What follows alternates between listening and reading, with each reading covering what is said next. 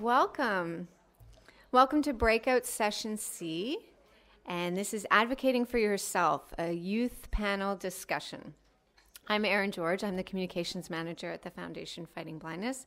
And as I mentioned earlier today, I also have retinitis pigmentosa. I'd like to introduce you to our three panelists today, and I'm so thrilled to have the, these three young women with us today to share their stories. Um, first, I'd like to introduce you to uh, Laura Bridgman. Laura is 25 and pursuing her interest in social justice, fairness, and equality as she studies to be a legal office assistant in Victoria. Laura has retinitis pigmentosa, and she's also mom to an 18 month old Joey. And Joey loves building sandcastles, singing, dancing, and hugging his mom. Uh, Natalie Ligonda is 28 years old and she's living with Usher syndrome type 1. She recently completed her Bachelor's of Education at Simon Fraser University and is now preparing to do her Master's in Deaf and Hard of Hearing Education while seeking a full time teaching position. And then our third speaker is Carrie Bavin. Carrie recently completed her law degree at the University of Victoria and she is working at a law firm in downtown Vancouver to finish her articling requirement to become a lawyer. She was diagnosed with Usher syndrome type 1 at the age of 24. And Carrie lives in North Vancouver with her husband Mark, who's here today, and her guide dog Casey, who's also here working hard today. Um, today, our panelists will share their experiences living with vision loss and learning to advocate for themselves. Uh, please note we are recording this session as we are all Vision Quest sessions, but to encourage an open discussion during the question and answer period, uh, we will not be recording the question and answer period. We want, uh, especially any youth audience participants, to feel comfortable sharing any experiences, stories, or asking any questions. So please rest assured that that portion will not be recorded. So please welcome our first of our three speakers today, Laura Bridgman. That'd be great. Hi, everybody. Can you hear me? Okay. I have never actually used a mic before, so if I'm too close, I apologize. Um, uh, so, like uh, was said before, my name is Laura Bridgman. I have retinitis pigmentosa, and I've I was diagnosed with it in 2007, so it's been uh, almost six years now. Actually, just six years. Uh, I am 25 and I live in Victoria, BC with my son, uh, Joey, who's around here somewhere. You'll probably see him. Uh, I wanted to talk more about the side of parenting with vision loss uh, because that's something that I am dealing with every day. Uh, so I have kind of a story, and I'll probably end up reading off of this piece of paper because I'm nervous and I don't talk well in front of others. So I hope that's okay. Parenting in general is a really difficult task, as I've been told by many, and also know for myself now through experience. Uh, mix in being a single parent, which is my deal, uh, as well as being legally blind, and this is a part of my story that I'm going to read to you. I've known for years about my diagnosis, so imagine my shock when I found out I was pregnant in 2011. So many thoughts came rushing into my head at once. How was I going to deal with this? What was my plan now? Was everything going to change? And most importantly, is this going to be carried on to my child? I was torn between my choices, constantly flip flopping about what, what I was going to do in the long term, be the best for my unborn child. The environment and life that I have been living, particularly because of my de- denial of RP and my rage from having this god awful disease, had been debilitating and I was lost in self pity. Being pregnant was the best and worst time of my life. Every day I would wake up and feel a little bit guilty about my choice to keep my child. There was so much outside pressure, constant nagging, and not understanding. I had made a choice that few others could support due to my life situation. I hadn't picked a spouse who was supportive, and he had his own set of problems. Every day I thought to myself that this was too much. I felt bad that I was bringing a beautiful child into the world of chaos and denial. To be honest, I was selfish. A part of me thought that this was going to fix my life, that I would have something to live for, and it would change me for the better. I had the young, youthful, naive impression that my life would miraculously get better if I had someone to love me unconditionally. First, I would like to explain that I've experienced all of that in tenfold. But it is in a completely different way than I had initially thought. Having a child is a huge responsibility, one that took up to, until this point to truly understand, and I'm still learning. I was forced out of my comfort zone and expected to know how to be a mom right away. And I didn't. I'm so fortunate to have been given that chance to be a part of Joe's life.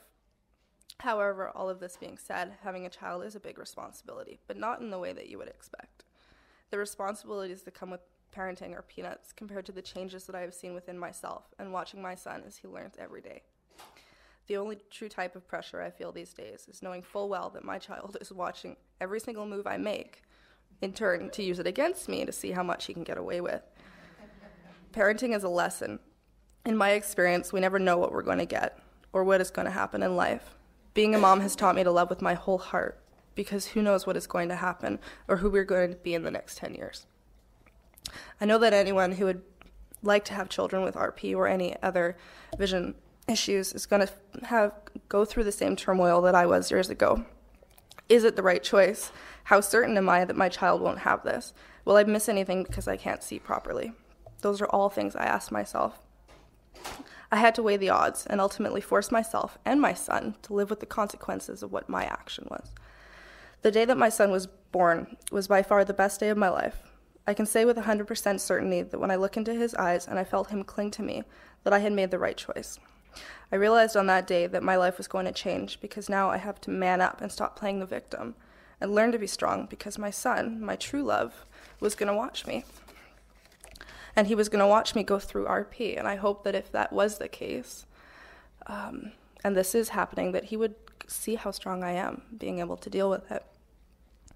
Last year, I made an appointment to sit down with my ophthalmologist and talk about the realistic chances that Joey would have RP.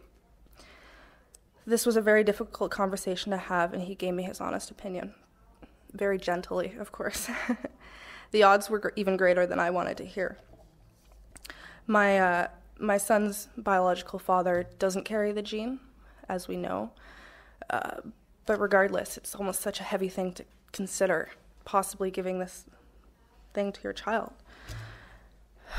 It was a very humbling experience, sitting in a chair, a million things rushing through my head, praying to the universe that everything be okay with my son. I found myself bargaining with the universe, repeating over and over again that I would take on anything, anything, if it could just not be for Joey. I wanted him to be healthy. The most humbling of all of this was realizing how much I wanted to be able to provide greatness for him. And in doing so, I had this like aha mommy moment realizing that I had been giving this to him all along and that I still had the potential to do so, and that the RP that I had wasn't going to defer me from anything that I wanted to accomplish. Since the day that my son was born, my life has taken a complete 180. Um, I have been asked so many times what it was for me that my life has changed because the pity pool I was in was just horrible and I hated everything and I was so angry. Why me? Why me? And I, I really did. I wanted to give it to somebody else, you know, and I'm not that type of person. I'm a very kind, generous, caring, genuine person, and I wanted somebody else to have this because it was too sad. It was too hard. I was angry and scared, and for some reason, that day that Joey was born, it just was gone. And since then, I mean, I face it every day, of course. I trip over things and I bump into things, and it's not always the safest for me, but I'm very cautious with Joey now because I I understand. I don't know what it is either because with kids, I guess for me, I have just become more careful and I think that I want to just make sure he's okay. I uh, I know that in my life, the things that have happened for me, just with learning how to parent and learning about him and how um, he is very stubborn. he's very energetic it's tiring. but uh, I don't I don't focus on my RP as much anymore. I notice it. Don't get me wrong. Uh, right now, as it stands, I have just three percent vision and peripheral vision in both my eyes. Um, I'm not using a cane like I should, and I think that I'm still kind of getting past that um, the overwhelming fear of what others are going to think. Um, and I've been told many, many times by everybody that there comes a time when that just doesn't matter anymore. And I'm going to go with that. I'm going to believe that, that it's going to happen when it's supposed to. So besides being a single parent and learning how to do it every day because it's different every day, I uh, I'm going to school full time and it's crazy busy and that's it's different because I haven't done that in years, and I'm taking the legal office assistant program, uh, which has been very interesting and so far so good. I haven't experienced any hurdles. Although the first day of class I did run into somebody in the hallway and it was. Um, it was really hard for me to explain in a situation like that what's going on for me because it's a very private thing. I don't I don't want people to know. I uh, I'm to finish off now, but I was going to start off with something and I didn't want to because it's embarrassing. But I uh, I'm kind of sick and tired of people coming up to me that I don't really know that know the story about my eyes, and they say, "Hi, Laura, how are you? How are your eyes?" You know, and it's just one of those things. Every time I just want to be like, well, what business of it is yours? And I am like that because I'm a very private person. I um, my mom and I were joking and laughing, and I can't believe I'm going to say this, and it's being recorded, but I just want to finish off with Hey, everybody, how's your colon?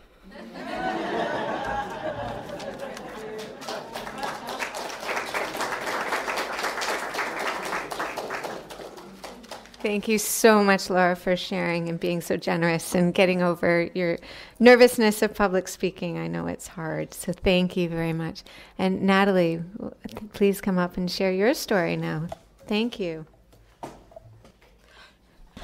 Good morning, everyone. Um, excuse me for bumping into the mic. um, so, I am Natalie, and I'm 28 years old. Uh, well, technically 27, but I'm turning 28 this month. And I have Usher syndrome, so what that means is that I have a hearing loss, and retinitis pigmentosa, since I'm type 1, I have profound hearing loss. So I was diagnosed at the age of 3 or 4 with the Usher syndrome. So I was one of those little kids that were overactive, running everywhere with glasses that kept sliding down the nose, and I was going, trying to, like, scrunching up my face, trying to keep the glasses on my face. Never worked.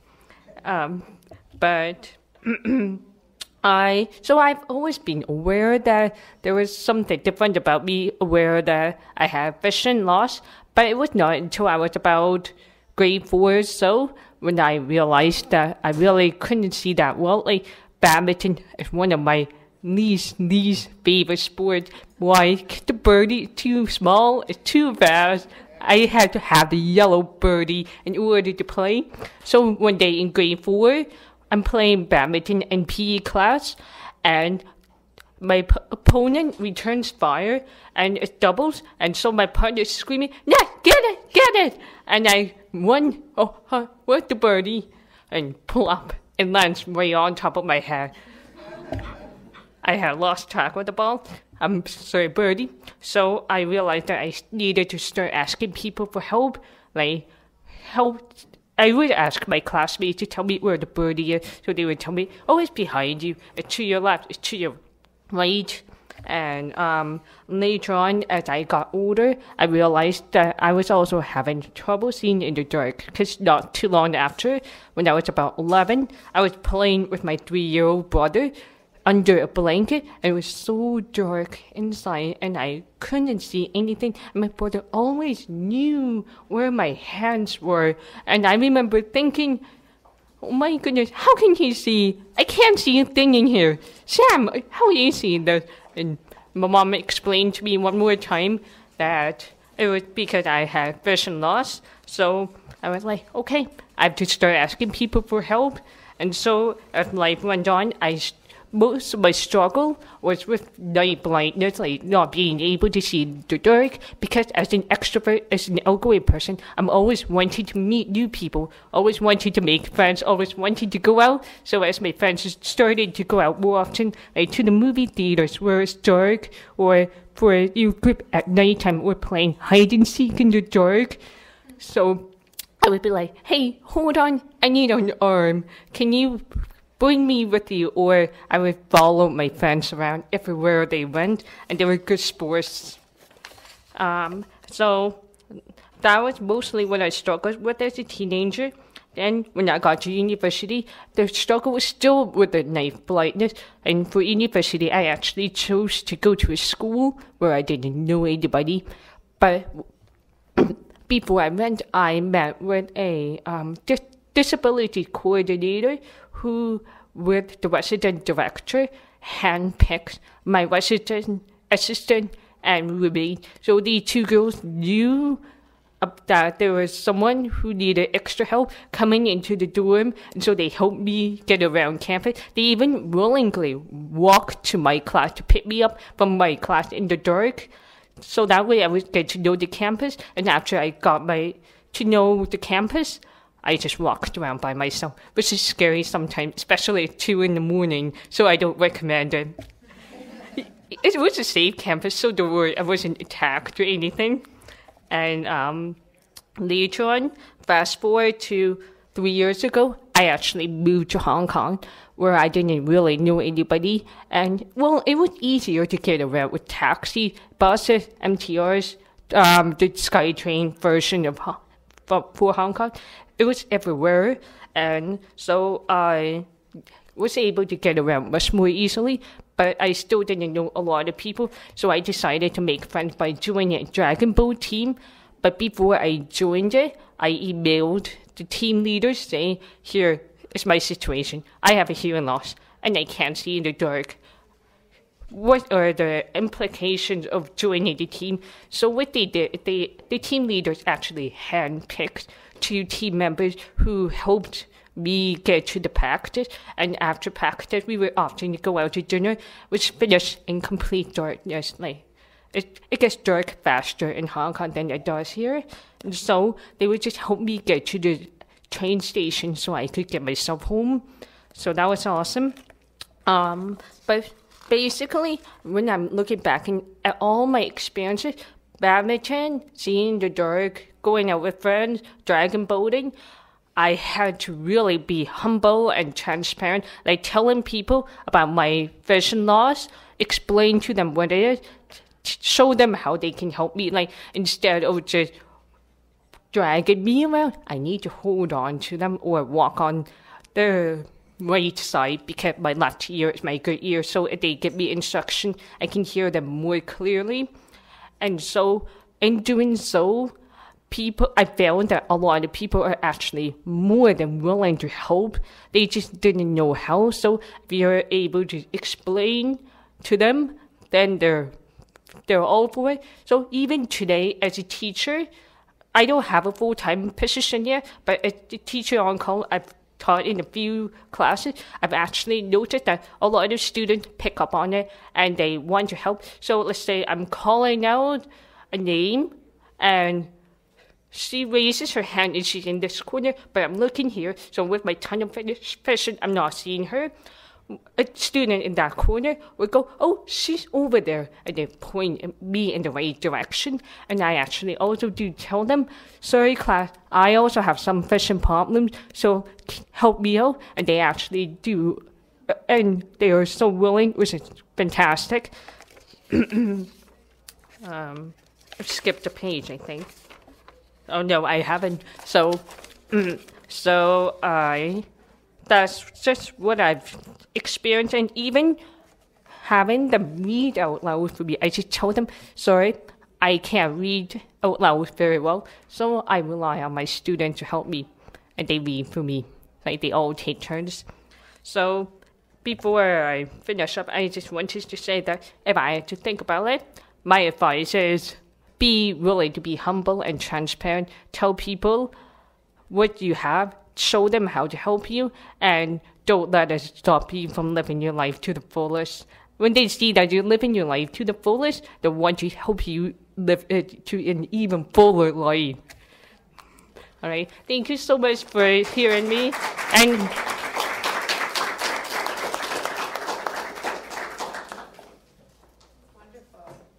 Thank you so much for sharing with us, Natalie. And Carrie, please come share your story with us today. Thank you. Okay, so my name is Carrie, and I am 33 years old. So I'm technically have I've expired past the youth phase, but um, I sneaked in there, so I'm pretty happy to be speaking. So I guess I'm still young enough to to be here.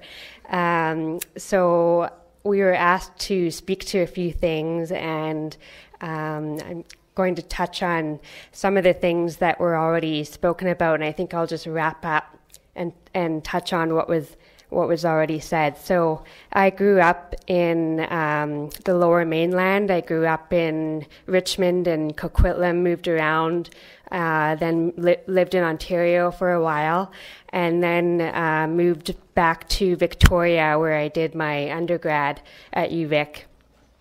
And I was uh, diagnosed at the age of two with moderate to severe hearing loss. I got my first pair of hearing aids when I was three.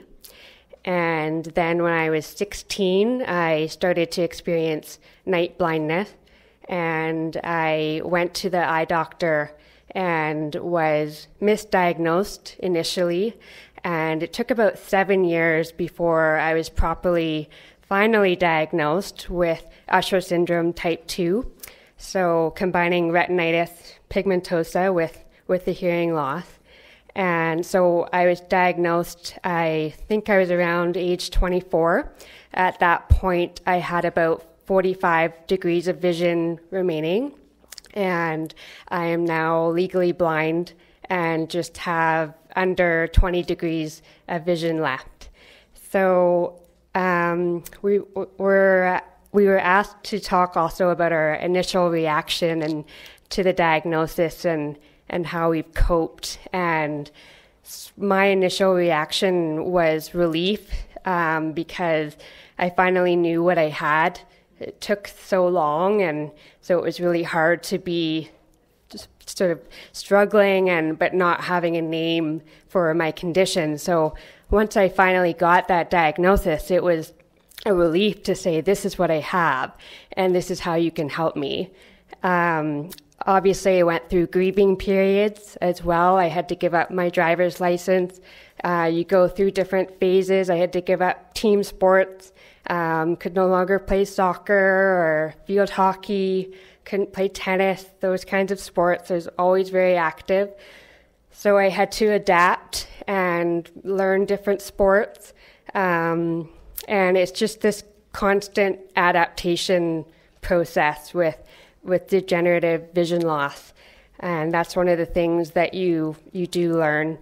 Um, I started using the cane when I first started law school because it was such a big transition. And I was entering uh, a new school, new crowd of people. And I actually went and got counseling because the cane is the most difficult transition I think anyone can take. Um, so I, I went and got counseling to figure out how to get the confidence to use it. And then after about two years, I switched to a guide dog. So, so I've got Casey now, and I've had her for just over a year. So, in terms of advocating for yourself, um, I advocate for myself every day in all different situations, and it really varies depending on the situation that I'm in. So there's there's all different scenarios I run into, whether it's at work, at school. I advocate to family and friends, um, in the medical system, on public transit, out in the general public. And I, f- I found that I've developed a style over time, just depending on what the situation is. And I think to be an effective advocate for yourself, you need to have accepted what you have. And I need to emphasize that if you feel ashamed or small or inadequate, that that will block your ability to effectively advocate for yourself. So that's one of the first things is coming to terms with what you have.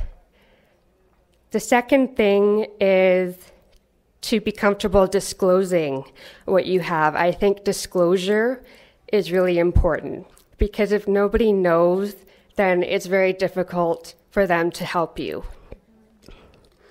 The third thing is to know what is reasonable and what you have the right to ask for. This can be difficult, um, but it's again something that you learn over time. It's also important to know when you are being mistreated, and it can be difficult to stand up to authority figures and question, you know, what just happened there, but having the confidence to say, no, that was not right, regardless of what their position is. And finally, you just what Natalie said, you have to know what you need and how to ask for it. And sometimes you don't know what you need, so you have to research. Um, so, for example, you know, there might be technology that you're not totally familiar with, but it's kind of up to you to figure out what it is you need. So, just some tips um, for how I've gotten, I've improved my advocacy skills. Sometimes I practice what it is I want to say. If I'm going into a particularly particularly difficult situation, I will workshop the situation with my husband and I practice saying different statements. And I'll just go through the scenario and he'll be the bad guy or the authority figure, and I will practice what it is I want to say. Another tip I have is when I start to feel really anxious or just fearful in a situation or I'm, I'm really thinking ahead about what's going to happen, I know that I need to take steps to advocate for myself, to reduce my fear. So I know that something's making me very uncomfortable. So I need to take steps to make it less com- more comfortable for me. So an example of this, we had to go. We went to the aquarium a couple weekends ago, and if anyone's been to Vancouver Aquarium, it's a nightmare when you have night blindness. Super dark.